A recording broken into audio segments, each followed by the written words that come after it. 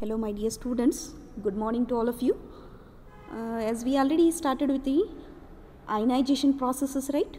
In the ionization process, there are four types are there. Which are those? One it is ionization by collision, and the second one is photoionization process, and third one is secondary ionization processes, and third one, fourth one is electron attachment process. Okay. In the previous session, we have already discussed on the ionization by collision as well as the photoionization, right? So in today's session, we'll have on these two topics. Okay. Okay. Let us start with the session now. Here the secondary ionization processes. Secondary ionization process means by making use of these secondary electrons. Secondary ionization processes by which secondary electrons are going to be produced. So this i already discussed in the previous session uh, this diagram it is very important. So this is the two electrode system it is there. One it is anode and this is the cathode. The difference between uh, the so there is a small distance between these two electrode and this is filled with what? This gas separation or the distance between these two electrodes it is covered with the gaseous dielectric medium. Is it right? So when we supply the voltage when we apply the low voltage what will happen?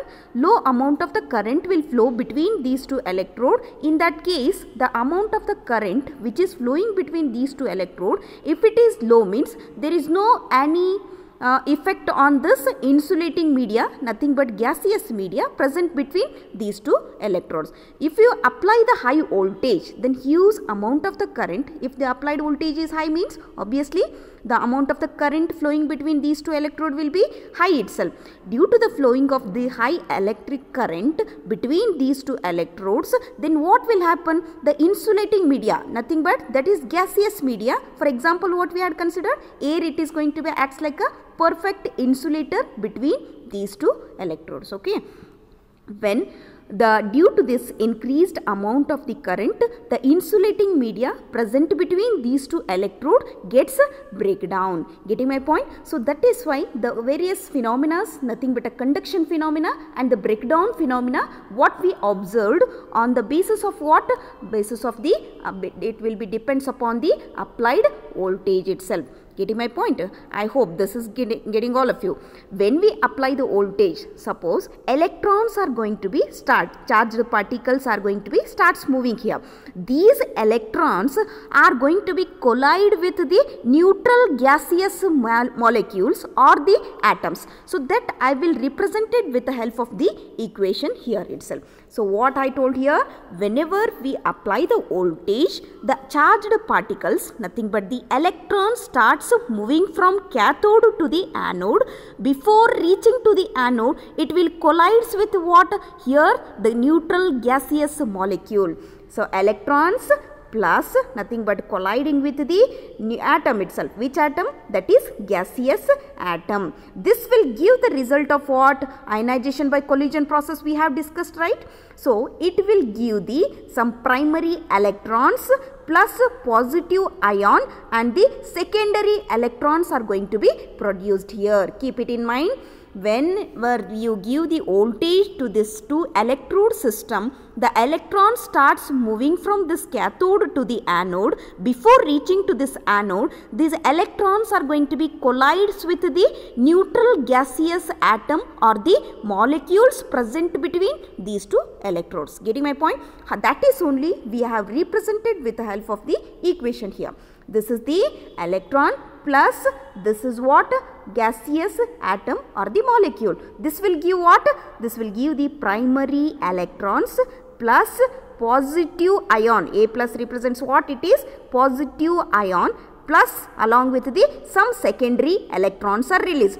These secondary electrons again collide with the secondary electrons again collide with the neutral gaseous molecules and it will produce the some primary atoms primary electrons plus positive ion again some electrons are going to be produced. So this will this process will be in a cyclical manner itself. So getting my point? So, so now what we are discussing now secondary ionization processes means we are making use of these secondary electrons as well as the positive ion what we got from the which process? Ionization by collision and one more process that is by the photoionization process. Okay. So, this secondary ionization processes are going to be divided into three types itself. You have the electron it is going to be emitted. So, the first one is electron emission due to what? Positive ion impact. Due to the effect of the positive ion which is incident on the cathode, electrons are going to be gets emitted. How it will, how it is going to emit that you will study later. So, second one is electron emission due to photons. And third one is electron emission due to the metastable and the neutral atoms. Keep it in mind. This is very important from exam point of view. The secondary ionization processes means there are three types are there. Which are those? One it is electron emission due to positive ion impact and the second one is electron emission due to photons. And third one is electron emission due to metastable and the neutral atoms. Okay let me start with the first one. The first one which one is there? Electron emission due to positive ion impact First, you should be clear with from where we will get the positive ions. Just now, I have discussed on the ionization by collision process. During the collision process only, as a result, we got positive ions here. These positive ions only we are using and electrons we are going to emit from the cathode itself. How it is going to be done means, see here the first basically the positive ions which are formed due to the which processes? One is ionization by collision process or with the help of what? Photoionization. Getting my point? So this name only indicates that this ion is positively charged. Then from where how it will travel? We know that cathode it is nothing but negatively charged. Anode is positively charged. When we impact. When we impact the positive ion on this system means electrode system means these positive ions either it will move towards cathode or the anode. Obviously right? The positive means it will obviously travel towards the cathode because cathode is negatively charged. Is it right so, opposite charges attract each other. Due to the impact of positive ions, these positive ions are going to be travel towards the cathode, right?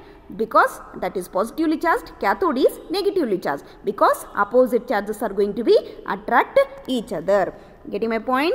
The first thing you need to keep it in mind, the positive ions are going to be, how they are going to be formed? Mainly because of the two processes, which are those one it is ionization by collision or another one is photoionization process. From these two processes we will get the positive ions. And, and next what I told here, these ions are being positively charged and then, uh, and then obviously they will be travel towards the cathode. Is it right? So then a positive ion, a positive ion which is approaching to the cathode so, cathode it is nothing but the metallic cathode. So, usually the metal metallic element of this uh, cathode will be either it is a nickel or the cadmium. So, so many examples for this uh, metallic what we are going to be used it as a electrode here okay a positive ion which is approaching to this metallic cathode it will cause emission of the electron from the cathode how it will cause the emission of electron electrons from the cathode means by giving up its kinetic energy on the impact of the positive ions. So what I told here, the positive ion impact it is going to be done on the cathode because the ion is positively charged and it will move towards the cathode. Due to the effect of this positive ion, the electron it is going to be gets emitted from this cathode. Getting my point? So, how it will emit? Because the positive ion, it will give up its kinetic energy on the impact on the cathode itself. Getting my point? So, see here. So, if the total energy of this positive ion, the positive ion whatever it is going to be impacting on this cathode the energy of that particular positive ion it will be the sum of what? Its kinetic energy as well as the ionization energy. Getting my point? So the total energy of positive ion which is the sum of what? Kinetic energy as well as the ionization energy. And very important thing is here the energy this energy should be greater than the twice of the work function of the metal. Metal means that is metallic cathode so getting my point cathode. Cathode it is made up of a metal. Which metal? Nickel we can use, cadmium we can use, any, any examples. Okay. See here. So the total energy of that positive ion should be greater than the twice the work function of the metal. So what is the meaning of this work function then? Is it right? Work function it is nothing but work function of a metal it is nothing but the minimum energy required to extract one electron from the metal. Getting my point? Extracting the the uh, nothing but it is the work function it is nothing but the minimum amount of energy that is required to extract one electron from the metal. Getting my point? So obviously if if the total energy of the positive ion if it is more than the work function of the metal means then only electrons are going to be gets emitted from the cathode. Getting my point?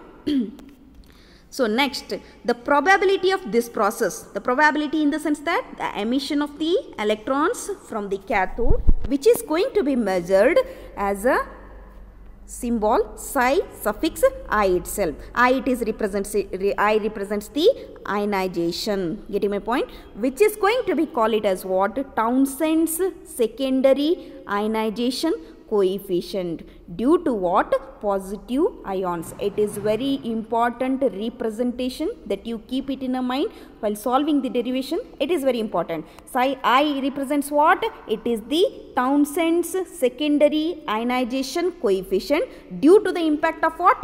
Positive ion. I hope this is clear to all of you. Shall we move on to next one?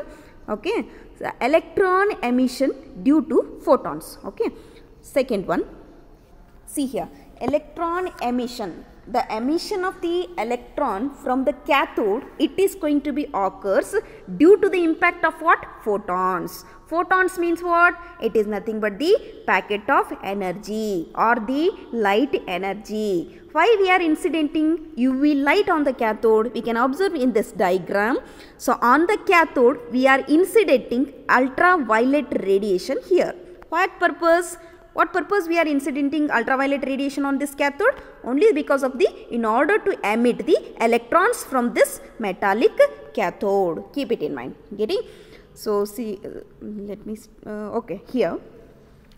So, next what I told here, the emission of the electrons, it is going to be done due to the impact of the photons or nothing but what? Uh, we are incidenting ultraviolet radiation on the cathode. What purpose we are incidenting means in order to emit the electrons from the metallic cathode. The examples for this metallic cathode it is either it is nickel metal or the cadmium etc. Okay. So we can say that to cause an emission or the to cause an electron from the metal to emit the electron from the metal means it should be given enough energy is it right? Without energy, the emission of the electron from cathode, it is not possible. That is why we are, which energy we are providing? That is light energy. Getting my point? What purpose we are providing means to overcome the surface potential barrier of the cathode itself. Getting my point? The energy can also be supplied in the form of the photon, nothing but the packet of energy. Which light energy we are using here? Ultraviolet light, which should be having the suitable frequency. Getting my point? So, it will emit the electrons from the cathode. Electron emission from the metal surface occurs only when this condition has to be satisfied. So, what is that condition? H nu should be greater than equal to uh, greater than equal to psi itself. H it is nothing but what? That is the Planck's constant. What is the Planck's constant value? 6.626 into 10 raised to minus 34. This nu is nothing but what it is? This is the frequency of incident light. Getting my point? So what this symbol represents this is the work function of the metallic electrode. What is work function i told Work function means it is nothing but the minimum amount of energy required to extract one electron from the metal. Keep it in mind. So, this is the work function of the metallic electrode and the frequency nu. From this equation, I can write the, we can reframe this equation. From this equation, I can write the, I can get the formula for the frequency. Nu is equal to psi divided by h it is where it is going to be called it as what? Threshold frequency. We know the value for for a clean nickel surface. For a uh, surface means the metallic cathode surface for example which metal we had considered? Nickel if it is if you are going to use as a metallic cathode electrode means which will be having the work function value of how much? That is 4.5 electron volt itself. Then you can easily calculate now threshold frequency right? So how? So what is the value of this work function? 4.5 electron volt. And this is h already standard Planck's constant value we know. That is how much? 6.626 into 10 raised to minus 34. After calculating we will get the threshold frequency as the 2755 angstrom unit. Getting my point? So next thing here if the incident radiation which radiation we are incidenting on the cathode that is ultraviolet radiation. So this incident radiation has a greater frequency. If it has the greater frequency than this threshold frequency means then what will happen? Then the excess of energy if the frequency incident light radiation if the frequency if it is exceeding the threshold frequency means the excess amount of the energy will go uh, like what? The uh, excess amount of the energy some part of that energy will be like a kinetic energy of the emitted electron and some part of the energy it will heat the surface of the electrode.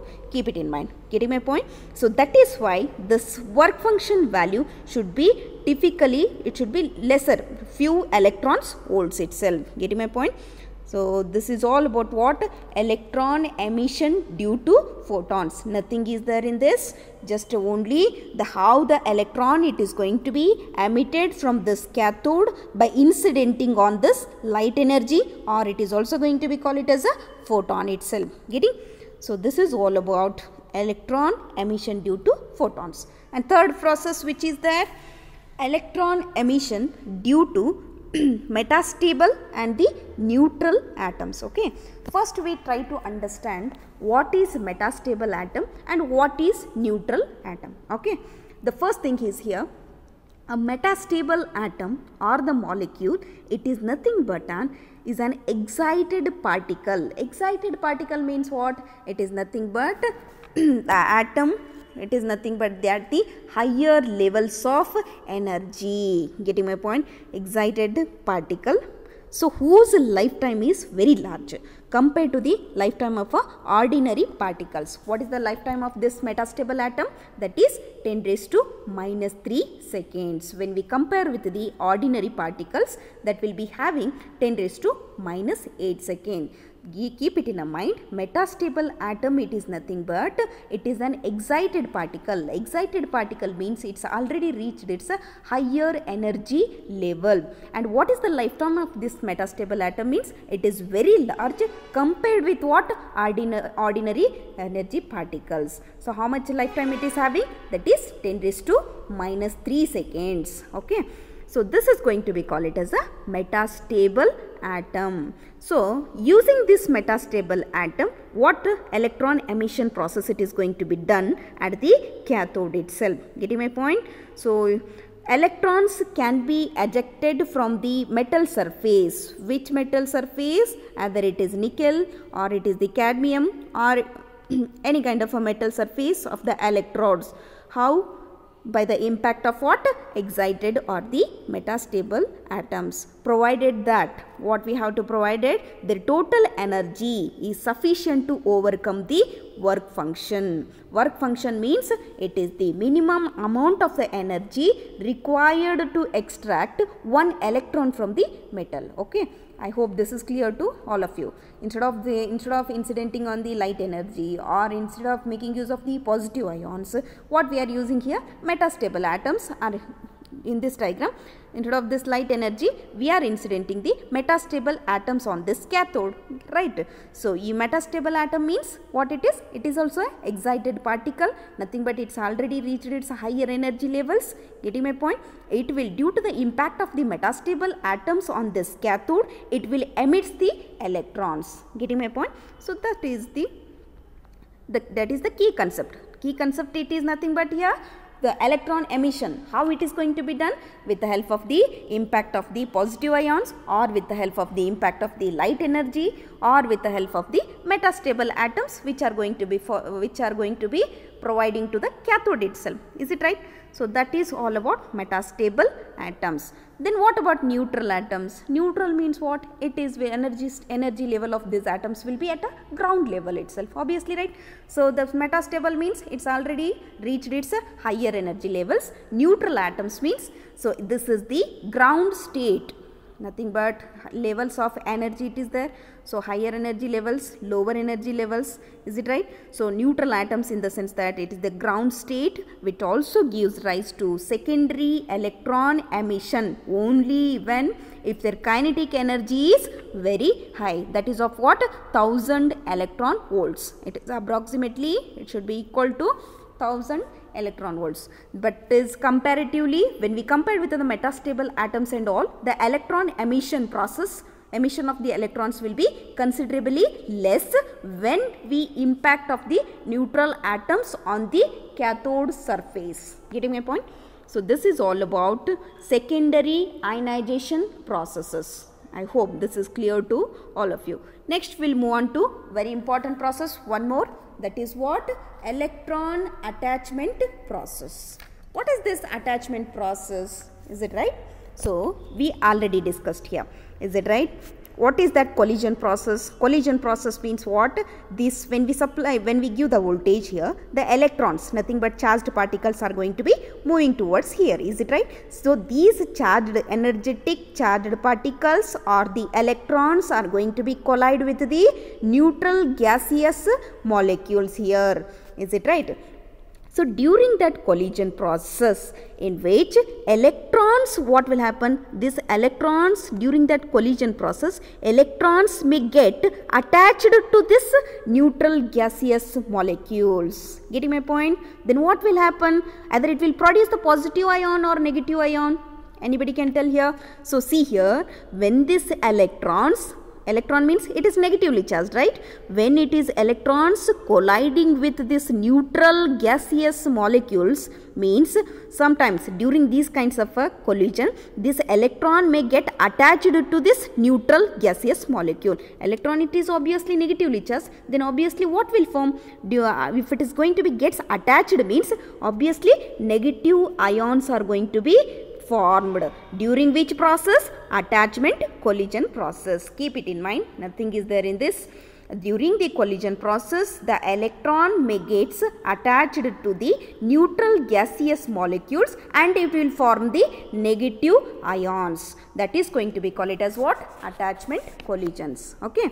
So this electron attachment process it mainly depends upon what uh, the first one is energy of that particular electron so, if it is lower energy means it will not get attached. If the electron energy if it is more means it will get attached to the neutral gaseous molecule right. So, second one is it will depends upon the nature of the gas. Nature of the gas means between these two electrode gaseous medium or the dielectric medium will be present over here. So it will depends upon the gas means where we have a, we are having the all electrical insulating gases like uh, a O2, oxygen, carbon dioxide it is there, Cl2, chlorine, F2 and sulfur hexafluoride SF6. So it will also depends upon the nature of the gas itself. Getting my point? Electron attachment process it will depends upon the two factors which are those one it is energy of the electron and the second one is nature of the gaseous media present between these two electrodes. Getting an electron attachment process how it is going to be represented with the help of the symbolically or, or uh, what? Symbolically how it will represent means see here atom. Which atom? That is gaseous neutral gaseous atom or the molecule when it is going to be colliding with the electron here. Then what it will uh, this is nothing but the kinetic energy of this electron. So getting my point? How, what it will produce? Obviously this electron get attached to the neutral gaseous atom and it will give the negative ion. Negative ion along with some energy kinetic energy plus electron affinity it is also going to be produces getting my point?